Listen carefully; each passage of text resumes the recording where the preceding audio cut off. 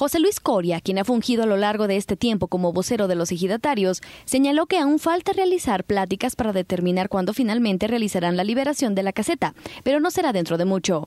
Ahorita estamos en, eso, en la, plática, precisamente posiblemente sean horas, días ya cuando mucho.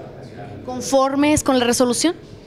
Pues sí, de hecho sí, ya este, los ejidatarios ya aceptaron la propuesta, ¿verdad? Este, pues tuvimos que, ceder a algunas cosas por el tiempo, ¿verdad? Pero sí una, una propuesta negociable, la de 135 millones de pesos para el elegido Pueblo Nuevo y sus ejidatarios.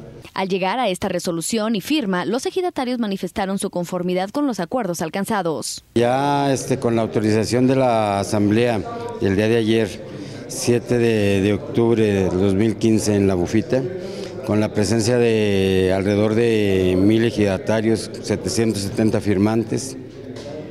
Se llega al acuerdo para que los convenios eh, se, lleguen a, firmar por, parte del Comisariado Ejidal.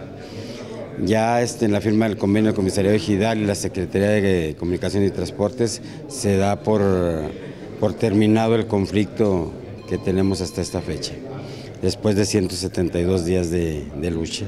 Camarógrafo Alberto Barrios, reportera Linda Cristal Rodríguez.